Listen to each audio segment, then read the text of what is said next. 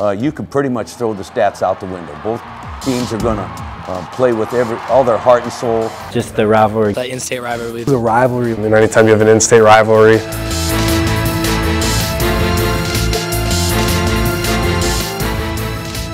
This is the Battle for Brookings preview show.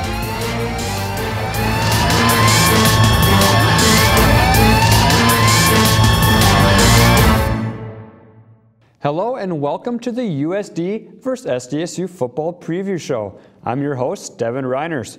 We've got player and coach interviews from both teams, game analysis, and we'll tell you about the lost years. But first, some history of this great rivalry. USD and SDSU have faced off on the gridiron 110 times. SDSU leads the series 52, 51, and 7. The two teams played their first game in 1889 the game ended in a 6 6 tie. They didn't play again until 1900. USD won 11 of the first 13 matchups. The other two games ended in a tie. SDSU got their first win in the series in 1919 in a game played in Sioux Falls. From 1946 through 2003, the Yotes and Jacks played every season. In some seasons, they played twice. Since 1990, South Dakota State has won 18 of the 21 matchups including the last seven.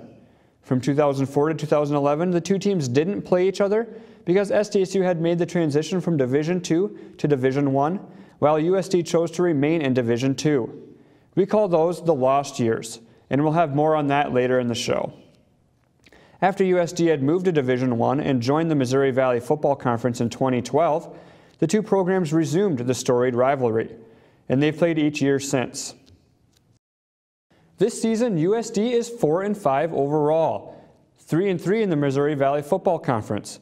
They've been given the nickname Cardiac Coyotes because every game seems to go down to the wire. Three games have gone to double overtime. The Coyotes began the season with a trip to Albuquerque to take on New Mexico.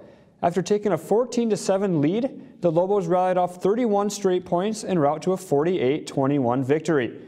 The Yotes split the next two games, both in double overtime. After trailing by 21 in the fourth quarter to Weber State, USD came roaring back to win 52 49. The next week, South Dakota lost to North Dakota 47 44, despite leading by 17 going into the fourth quarter. After a 10 point loss at Youngstown, USD rallied off three straight wins against Northern Iowa, Indiana State, and Illinois State. The Yotes then lost two heartbreakers to Western Illinois and Southern Illinois. South Dakota State comes into the game with a 6 and 3 overall record and 5 and 1 in the Valley. They began the year with a trip to Fort Worth to take on TCU. After SDSU took an early 17 7 lead, the game became a complete shootout. TCU would ultimately end up winning 59 41. The Jacks then beat Drake but lost to Cal Poly. After the loss to Cal Poly, the Jacks started rolling, winning four games in a row, including a 19 17 win in Fargo against rival NDSU. The Jacks were then upset by Illinois State but defeated Missouri State last week. Coming up after the break, we sit down with players and coaches from both squads. Stay with us. What do I like about USD? I like that they have a lot of spirit and guts to come up against SDSU. It's 90 miles away from Brookings. Um, I mean, their dome is pretty cool. I think that's about all they've got going for them.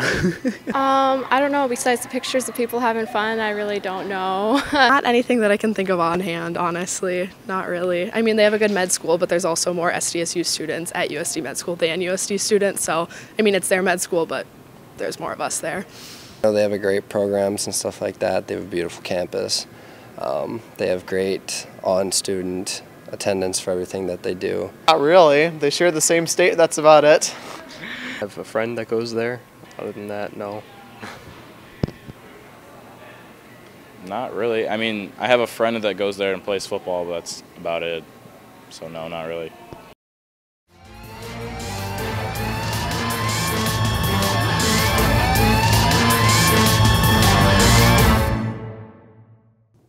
Welcome back. Collins Chalup is here to tell us about the key players we should look out for on Saturday. Collins? Thanks, Devin. Let's start off with my top three players to watch for the Jackrabbits. Junior tight end Dallas Goedert is not a wide receiver, but he leads the team with 69 receptions and over 1,000 receiving yards. He has had a receiving touchdown in seven of nine games with a total of 10. He looks to keep the defense honest and open up the passing game for his fellow pass catchers. Junior wide receiver Jake Wieneke has already been trouble for the Coyotes in the past, posting over 100 yards and one touchdown each time he has faced the Yotes. Winicky leads the team in receiving touchdowns with 14 and looks to add to his totals this weekend. Redshirt freshman Christian Rozeboom will, all, will have his hands full with the Coyotes' up-tempo spread offense, but should be ready for the challenge. He is the team's leading tackler with 85 total tackles, second in tackles for loss with five, third in sacks with three sacks, and tied for most interceptions and forced fumbles with two each. The Jackrabbits lean on this linebacker to make impact plays, slow down opposing offenses, and be an anchor for the defense. My top three players for USD are Chris Streveler, Miles Bergner, and Trevor Bouma. This is, is junior Chris Streveler's first season as the starting quarterback for the Coyotes. Streveler is the team's leading passer with over 1,500 passing yards and leading rusher with just under 700 rushing yards. He also has a total of 25 touchdowns on the season. His, his success is key for the Coyotes getting a win Saturday. Senior Trevor Bouma is the Coyotes starting tailback. He's the second leading rusher on the team with over 640 yards and most all-purpose yards with over 790. Bauma will be counted on to keep the Coyotes offense balanced with a solid rushing game and keep pressure off Streveler. Senior Miles Bergner has been clutch all season long, leading with the most field goals made in the Missouri Valley Football Conference. Bergner not only does the field goal, punting, and kickoff duties, but does it at a high level of production and is regarded as one of the best kickers in the conference. He has made 14 of 17 field goals and pinned opponents within, with punts inside the 20 12 times. Earlier this week, I had the opportunity to speak with a coach from each school ready to come face to face we look at every game differently, and we, we, you know you you always pay attention to the past. You look at the the, the last year's film, uh, but with the coaching change down there, there'll be very little of that. Uh, you know, you should have some confidence built in if you've had some success against a team. But in a rivalry game, records are thrown out most of the time. The location is thrown out most of the time, and you need to be ready to play your best football. And I, I think our guys will be ready to do that. This week's really no different in, in how we prepare. Obviously, the, the hype around it is, is quite a bit higher. Um, and anytime you have an in-state rivalry, rivalry game in general, um, there's going to be that added, added element. I mean, they've got a lot of really good players. Their two interior defensive linemen are, are you know, some of the best in the league. They, they go against a really good offense every day in practice, so, you know, they go against a team that's going to expose their weaknesses, and then they can work on that. I also spoke to players from both teams about how this game is different and what the rivalry means to them. It's a Missouri Valley football game, so it's just as important as you know Missouri State. You know we got to win. Uh, you know if you want to hold the top, be top in the conference. So uh, don't really look at it as a rivalry. Uh, they might, which is fine, but uh, we just look at it as another Missouri Valley Football Conference game. Um, you definitely, you definitely have maybe a little extra edge during the week, knowing that's a bigger game and it's a bigger thing for the community as well. I mean, for us, it's just another game throughout the week, and there is a little bit of rivalry, obviously, rivalry, obviously. But with the community and stuff, you know it's going to be a big atmosphere, and you know that it's important to get that W for everyone. Um, you know, rivalry game from or not from South Dakota. You know, you kind of get built into the rivalry and it becomes important to you as a person and as a player. So chip on my shoulder, definitely. The week came around that we were preparing for SDSU. Uh, the mojo of the team kind of just changed. Everybody kind of got in that anger, anger mentality, you could say, and it became such a serious fact. And football's a fun sport, but at this point, it was more uh, to the point of we really want to win this game and the importance of the rivalry it'll be a packed game, so I think that's motivation all the way, honestly. Uh, it's more fun to play in front of a really packed stadium than one that's kind of quiet, you know, and I think that it's motivating to a lot of our guys. Uh, I don't see it being any pressure towards any of anybody on our team, but motivation is definitely something that's necessary in a game like this. Just today at practice, you kind of feel the energy. Um, you can tell it's a you know big week, not just because it's SDSU, but because of our season's on the line. So you know, I think just the rivalry gives it, you know, a little extra motivation. So it's been some good energy at practice. You know, going up to the new stadium, it's going to be a lot of fans there. It's going to be a real cool atmosphere. So, you know, you take it as another game, but at the same time, you got to kind of get yourself up for the big rivalry.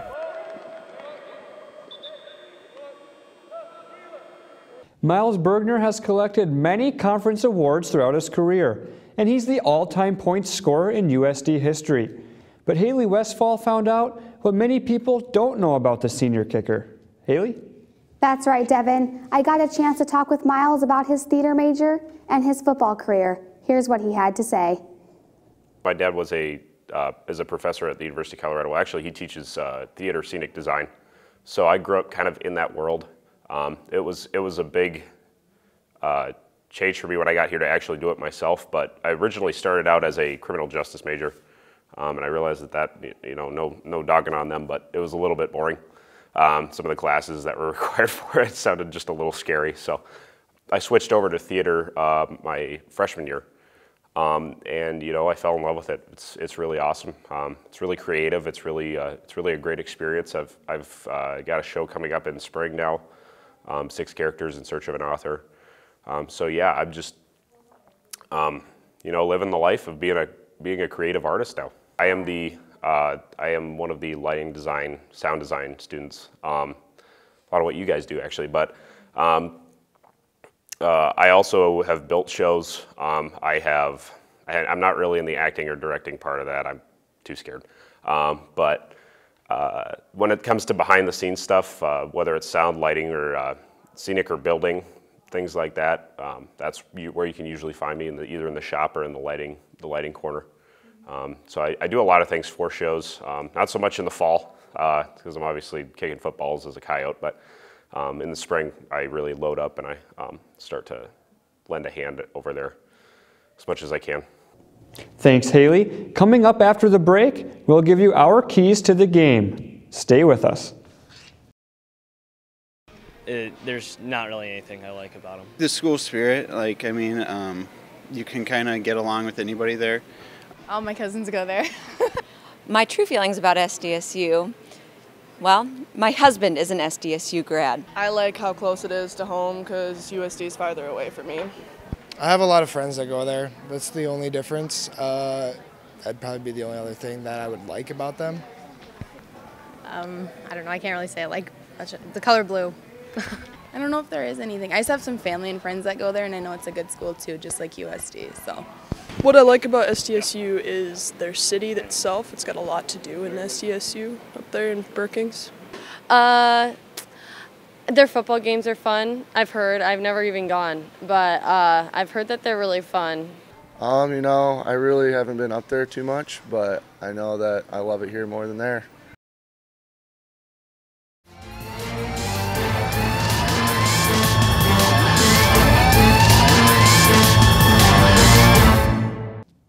Welcome back. The game is being played in the newly renovated Dana J. Dykhouse Stadium, formerly known as Coughlin Alumni Stadium. The stadium opened this season and seats around 19,340 fans. Additions to the venue include additional seating, club seating, and suites. Head coach John Stiegelmeier says a sellout crowd could really tip the balance of the game in the Jacks' favor. I'm joined here by KAOR radio announcers Joshua Earl and James Hagedorn. They'll be telling you everything you need to know about this week's rivalry game. All right, so the red zone is a key area for both teams, but in different ways. Yeah, in particular for USD, I mean, red zone offense has been one of their main uh, points this season. Really been a lot of uh, success for them. Scored 25 out of 27 times within the red zone. Uh, just had that uh, not able to convert uh, score last weekend, and also that fumble on the one yard line by Bouma against Western Illinois. But aside from that, always putting up a touchdown or field goal, having a lot of success there. It'll be interesting to see how SDSU is able to combat that, particularly with their relative struggles this season. They've only uh, stopped teams three out of 29 times when they get within the 20 yard line. So, really important stat to look out for and see if SDSU can try to lock down and prevent USD from converting those scores. Now, the SDSU passing game is pretty prolific. It's also important for both teams. But how can USD combat the aerial threat that SDSU provides? Well, one of the guys I really looked to is Adam Harris. He, he makes a lot of good reads and he also makes a lot of key pass deflections. And I think they go with him and also freshman Marcello Judge, who's come up big for the Yotes throughout the season against Illinois State. He uh, chased down and stripped the ball from the running back who was about to score a touchdown. So he's prevented quite a few scoring plays, and it's a very turnover happy defense, and they can force turnovers, and a lot of that Tyson Graham converting from the secondary to the linebacker, it kind of gives them a bonus cornerback, even if they're not running the nickel. So that really helps the Yotes defend the pass. Now SDSU tends to stick to passing. They rank, you know, amongst one of the worst in the league in rushing. But with USD's inability to stop the run, do you think it would be wise for SDSU to push things on the ground? Well, you, you can't uh, you can't change. I mean, their style of play is set up for the pass and like that. But also, I think it might be a decent idea to push it. Not necessarily go strictly to a rushing system because that's not their strength. But USD, I mean, they're literally the worst in the conference against the run. Really uh, give up a lot of yards in that respect. The passing defense generally able to hold fairly firm. I mean, they'll give up some big plays here and there just from being a little too aggressive on defense. But if SDSU, I mean, maybe early on they can just kind of soften up that defense with rushing. I'd expect to see a little more of that, particularly early in the game, and then some deep shots a little bit Well, later. you have to establish a run, but I think SDSU they can't change up their style. They're a very they're a pass first team, so to change your style just based on a, opponent's weakness, I don't know if that's the way to go. I think you just got to play more to your strength rather than to the opponent's weakness.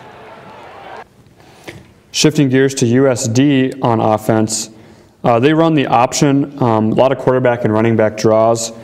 Will that work in USD's favor against SDSU's relatively soft run defense? As long as they mix it up, because the problem with USD is they get too prone on just doing the read option time and time again, and a lot of the times they'll make the same read. So Streveler's going to have to make the read and not necessarily give it to Bouma every play, but maybe keep it himself. And they also got to get the passing game going. They often go to the short pass on first or second down, which it hasn't been working that well this season. So if they could get some more yardage on first down, then they could be in a better situation on second and third down. Yeah, and honestly, I, I mean, USD they love to do kind of like sort of draw plays, like screen passes, that sort of stuff. I like to see them try to get away from that a little bit, particularly against with SDSU. I mean, if they're going to have a hard time against the rush, it's only going to work if USD can kind of open it up a little bit and give them some room. Because of USD, like you said, if they just run straight up the gut, even if it's a relatively weak rush defense, all, everybody's going to be crowded right there. Yeah, the, the defense can just load up the box, mm-hmm. and, the, and they do that because they're ready for the run right at the middle. Uh, both USD and SDSU um, have positive turnover margins, meaning they've forced more turnovers than they've given up. But they've gotten to that positive margin in different ways. Yeah, it's, it's kind of weird actually. SDSU, uh, basically, they've gotten to that positive margin just by limiting the turnovers like crazy. They're actually the only team in the conference with single digit uh, turnovers on the year, albeit it's nine, so it's really close. But they've been able to limit their turnovers and they've forced 15 themselves, so they've got a good margin there. USD, meanwhile, just a little bit behind them. They've got a plus two margin, but they've they've turned over a bit more. But that, that aggressive defense, it's working out a bit. Uh, I'm sure uh, Coach Nielson will take those turnovers and everything like that, but sometimes they'll give up some big plays by being a little too aggressive going for the strip or something like that when they should just do a sound tackle. Yeah, you'll see them give up five to ten extra yards sometimes just hacking at the ball instead of just wrapping up. But it's kind of the aggressive defense they play. In the offense, USD's offense has been a little too sloppy with the ball. Streveler's made some um, poor decisions in the past against last week against Southern Illinois. The first two possessions, she threw a pick, and it puts the defense in a tough spot where they almost feel like they need to get a turnover to uh, swing the momentum back their way. Yeah, and in particular, the USD defense here.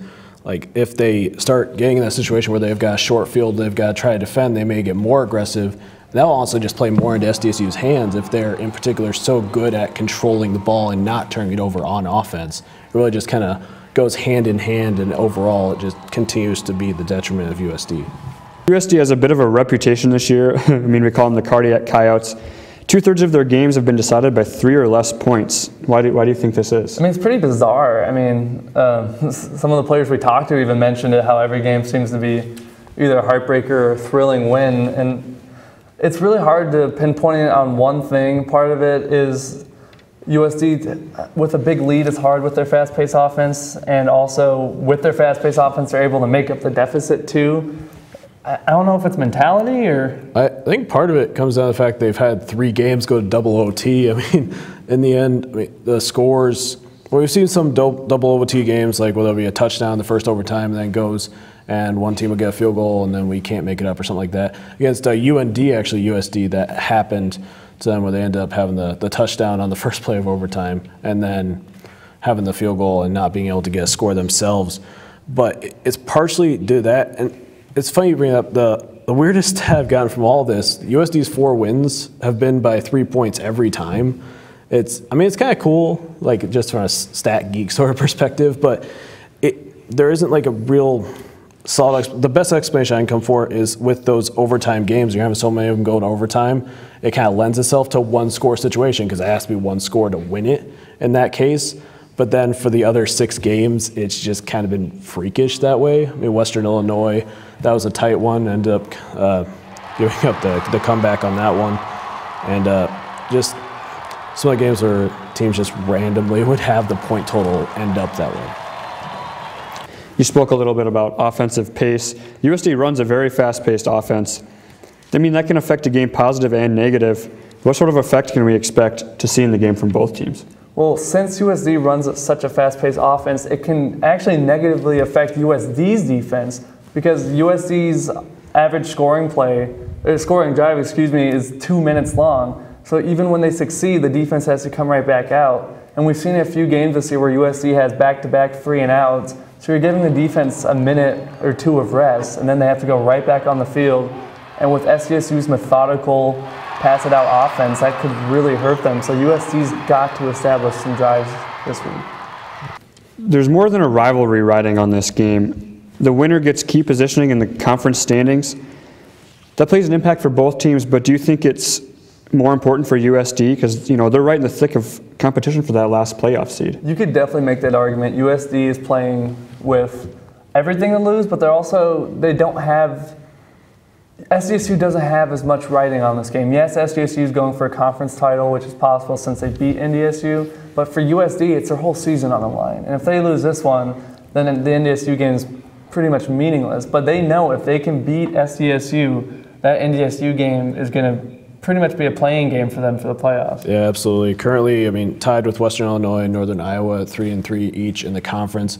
And particularly this, these two games are particularly must-win games because Western Illinois, who who beat USD in that one-point victory here in uh, Vermillion, their remaining games are against Northern Iowa and Southern Illinois, which are definitely winnable games for the Leathernecks. So USD really needs to get these wins because if, if they manage to lose to SDSU, sure, I think mathematically the tiebreaker would go toward uh, toward Western Illinois since they beat USD. But if even if they win, it's still not guaranteed they get into the playoffs, but there's so much more to play for there. SDSU, they just continue to sit atop the conference standings with NDSU. So you would have to think beating SDSU and NDSU, the top 2 mm-hmm. teams in the conference, would almost definitely get them in the playoffs because the Missouri Valley is almost like the SEC of the FCS. Being a four and four uh, Missouri Valley team is just as good as being maybe a six and two Big Sky team. So if they can beat both of these next two opponents. I really think they're in. The, the, common thought last year was if they could have beat SDSU and been six and five, they would have been in. Yeah, and I mean, if they beat SDSU, the momentum they feel going into the game against NDSU, particularly with that being at home against the Bison, would be huge for the senior USD day too for a lot of the players. One last question for both of you. Um, we'll start with James. What's one key that USD needs to focus on to win this weekend? Well, there's different things you could turn to. You could look at pace of play, you could look at establishing the pass, but I think the biggest thing is going to be limiting turnovers. And it bit us last week. Scheffler is very athletic, can make some big plays, but sometimes he's got to make better decisions. And throwing two first quarter picks against the Salukis really changed the whole tempo of the game. And even if you look at last year's SDSU game, Sager threw a fourth quarter pick that just completely uh, one play doesn't cost a game, but that play turned the tide of the game and gave the Jacks the win here in Vermillion. So I limit turnovers because it's another thing that gets the crowd going. So USD just have to take care of the ball and make smart decisions passing the ball. Absolutely. Josh, one key for SDSU to win the game Saturday. I think SDSU needs to make uh, quarterback Chris Streveler beat them through the air. He's a huge threat on the ground, able to take off for runs of like 80 yards just randomly. It looks like he's going to get sacked and they'll just squeeze through four defenders. But if they can keep spies there and make sure he can't take off, or at the very least clog up the running lanes for uh, for him and Bouma, make it really difficult for them. USD tends to have a hard time. They do have big play capability in the receiving core, but they don't tend to go to that as like the first option. So if SDSU can take away uh, Streveler's running in particular, Bouma, I mean, he's had big rushing games, and things like that, but it, it, definitely the home run threat being Streveler in particular, if they can take away his legs, it may be a little difficult for him to beat them through the air the entire game. Well, there you have it, folks. Everything you need to know about the game on Saturday. Thanks for joining us, guys. Yeah. Former USD coach and player Joe Glenn gave us insight on how he views the rivalry. I think anybody in South Dakota knows that uh, when State and the U uh, line it up, it's a game for uh, bragging rights in the neighborhood, bragging rights on the campuses, bragging rights in the connector city, Sioux Falls, um, in and out of the, the, the hometowns throughout the state. So um, it ratchets up big time. In this game, you can pretty much throw the stats uh, out the window. Um, I'm saying that uh, even though uh, they have a high ranking and perhaps their uh, win-loss record might be a little bit better than the U's, um, I know from having played in this game three times uh, when I was here and having coached in it, uh, you can pretty much throw the stats out the window. Both teams are going to uh, play with every, all their heart and soul. Um, they're going to let the fur fly and uh, get after each other as hard as you can. And um, it's, it's pretty much a game of, uh, of will uh, against each other because everybody wants to beat your, your rival um, and in your home state and uh, send your fans home uh, with a victory. Coming up after the break, we talk to former USD player Tyler Evans about the lost years. We'll be right back. Do you plan on uh, going to the game this weekend? Yes, I do. It's going to be pretty wild. Um, my plans for the game this Saturday is probably to sleep in and then go to the game. I'm just, I'm just gonna be in the stands just like every other student, and I just hope that we win just like any alumni. Um, my family is coming up for the game. My brother-in-law, who graduated from here, is bringing my sister, who is a USD alumni, and my parents up to the game. So I'm gonna hang out with them for the day, and should be pretty good. Considering the fact that I'm in the marching band, I kind of have to. So yes, I'm gonna be going. Um, I'm going with my roommates, and I'm very excited to see the Jacks kill the Coyotes. I'll be in attendance of the game, so I'll be tailgating beforehand, so it should be a good time. Well, I work, see, so I'm working. But after, I'm going to join the college experience, guys. Sounds good. Thank you. Awesome. Got to get absolutely tossed, and then I'm going to go in there and root for my team the entire game.